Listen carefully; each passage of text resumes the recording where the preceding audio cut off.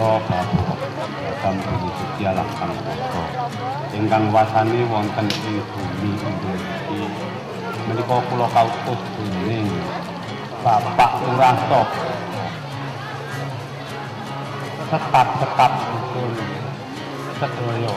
Kok bilih wonten kelepatan kula anjing kula taus mesti dateng Mbah Unggul dalet estri saha den Ayu Gasung Lati sak andhanipun sedaya lumantar yang sedhek sak andhanipun sedaya kula nyuwun pangapunten ingkang agung dumateng para bapak lan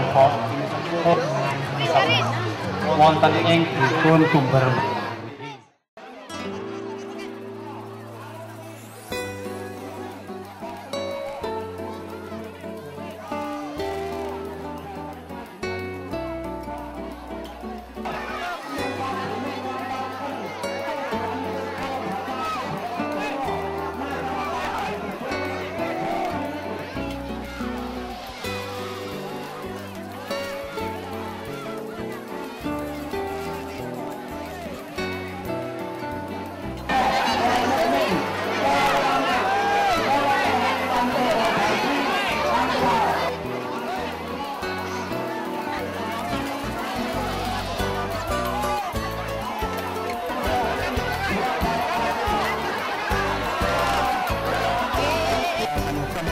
Bismillahirrahmanirrahim.